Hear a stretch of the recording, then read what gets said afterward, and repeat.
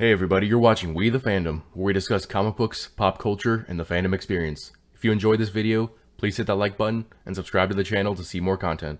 How's it going everybody? Jacob here at We the Fandom reviewing episode 3 of Loki. This show was on a roll for the first two episodes, but this episode seemed a lot more like a distraction kind of like a pit stop. There was one big reveal though, and we'll get to that towards the end of the video. But the episode starts off with Sylvie and the TVA agent that she had kidnapped in episode 2 at a restaurant drinking margaritas. This is all an illusion created by Sylvie to trick the TVA agent into giving her the location of the Timekeepers. Now, jump to Sylvie and Loki, both jumping through that time portal in that last episode, and they both ended up at the TVA, which is swarmed by guards, running everywhere trying to figure out how to fix the problem that Sylvie caused when she teleported all those time reset devices into the TVA. And given that magic can't be used, Sylvie has to fist fight her way to the elevators, which is where she thinks she'll get to the timekeepers. But just before she gets to them, Loki shows up. The two end up fighting again, and when Ravonna Renslayer and some other TVA guards arrive,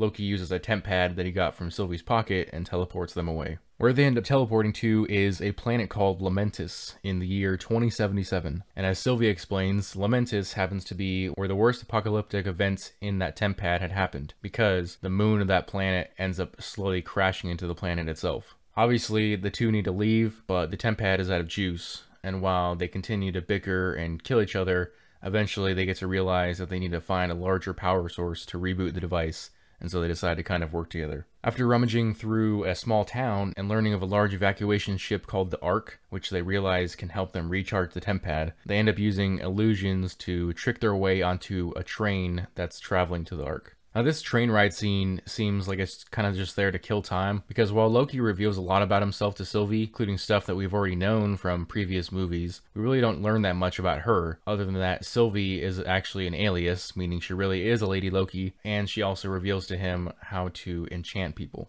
Due to Loki getting drunk on the train and a fight ensuing with the train guards, Loki and Sylvie end up getting kicked off the train, literally, and in the fall, the temp pad ends up breaking. Obviously, Sylvie gets pretty mad while Loki's kind of lackadaisical at this point, kind of seems to give up due to the planet about to be destroyed in the middle of an apocalyptic event, and they don't have any way off the planet. As Sylvie reveals that in history, the Ark never actually makes it off the planet. But Loki says that the Ark has never had Lokis on it. So they continue their journey to the Ark on foot, and we get the reveal from Sylvie that everyone working at the TVA is actually a variant. Meaning, the reason Mobius likes jet skis so much, despite never having been on one because he works at the TVA, is because he actually used to be a real person who was probably either a fan of jet skis or rode jet skis in his own time. Despite their best attempts, Loki and Sylvie don't make it to the Ark in time because they're trying to fight their way through a riot. Uh, a bunch of guards kind of try to stop them, and then the Ark gets destroyed by a piece of the moon that was crashing into the planet. And so we're left on this huge cliffhanger where that had literally been their last resort, and we have no idea how Loki and Sylvie are getting off this planet, getting out alive, and making it to where, whatever they're trying to do next. Now, except for a few revelations, you start to realize that this whole episode was kind of a waste of time, as they neither found a power source for the temp pad or made it off the planet with the Ark. Despite all the dialogue in this episode, we still don't know the ultimate plan of Loki or Sylvie, as every time it's mentioned or asked, neither of them actually confirms anything. We still don't know much about Sylvie's past, and despite the revelation about the variants,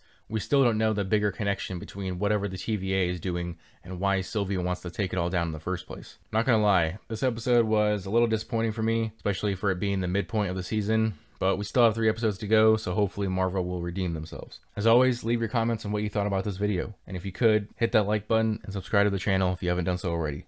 I'll see you all in the next video.